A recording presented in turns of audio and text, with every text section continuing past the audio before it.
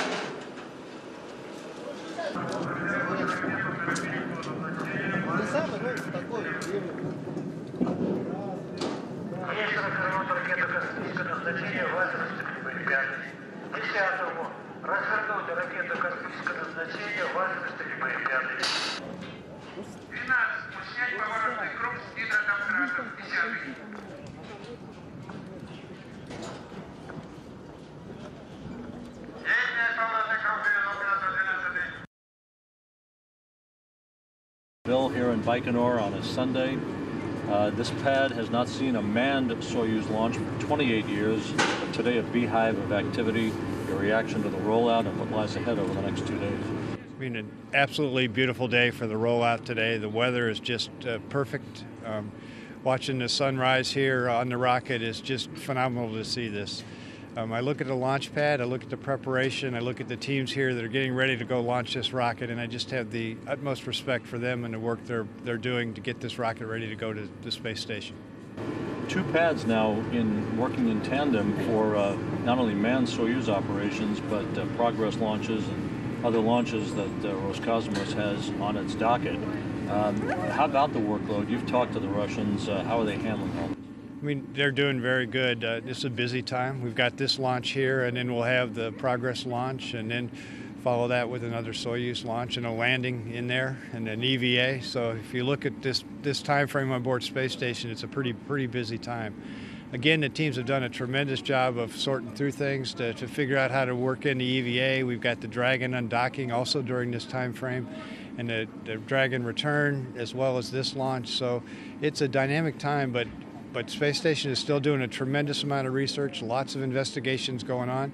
You know, on this Soyuz here that sits on the launch pad, there'll be some uh, Medaka fish launched up to the space station, and those will they, they'll be uh, housed in an aquarium on board the space station, and they'll give us another chance to see another uh, animal operate in the microgravity environment and see what we can learn from that from a research standpoint. So, busy time operationally, lots of stuff going on, but also lots of great research being done on board the space station. And a final question, Bill. Uh, adding this EVA for Suni Williams and Aki Hoshide up on the station on November 1st to uh, basically replumb the cooling channel on the station, in addition to all this visiting vehicle traffic that is just almost like an air traffic control at an airport would, would face, is this the new normal for the space station? You know, again, I think in space you got to be prepared. You got to be flexible to deal with what, what you get.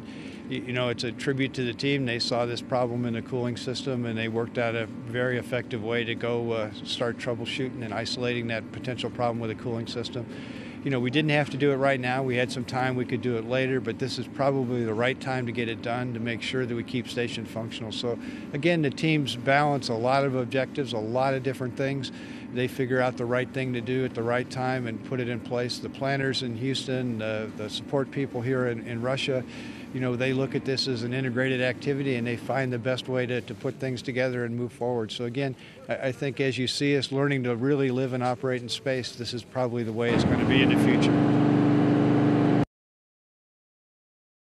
Bob Behnken, NASA's chief astronaut. Uh, Bob, uh, here in Baikonur, um, Soyuz ready to go, ready to take Kevin and his Russian crewmates to orbit. Certainly. Uh, you've talked to Kevin uh, over the last several days. Uh, how's he doing? How's the final stage of training? Uh, the final stage of training for the entire crew is going on just excellent. We spent yesterday morning going over the final search and rescue plan as well as the ballistic profile so that the crew had all the final information and uh, they had no questions and everything proceeded well. So Kevin's doing well. I spent a couple hours discussing the mission itself and uh, his role as he gets on board space station and potentially prepares for both a spacewalk and the release of the Dragon spacecraft. So he's looking forward to it. I, that was going to be my next question. Launching into one of the busiest weeks, first weeks for a, a new expedition crew member that we've seen. How can the time possibly be balanced to get Kevin prepared uh, to tackle this right right out of the box? We've done uh, several special things to try to get Kevin as prepared as possible. We had uh, Joe Acaba, the most recently returning uh, Soyuz uh, space station crew member, spend some time with Kevin in Star City uh, when he came back for his landing ceremony, his uh, post-flight ceremony. That was really good for Kevin to get some of the handover activities handled between him and Joe on the ground prior to arriving on space station. Kevin's got a, a, series of procedures in his hands to review in preparation for a potential upcoming spacewalk, so that's another thing that we've done to try to best prepare him to jump into this very busy time. So uh, the combination of that and the uh, the change in the uh, return date for the crew uh, for Suni and Aki and uh, and Yuri when they return on the 19th uh, of November, I believe is what's per the schedule right now. All that has put us in a pretty good position to step into this busy time.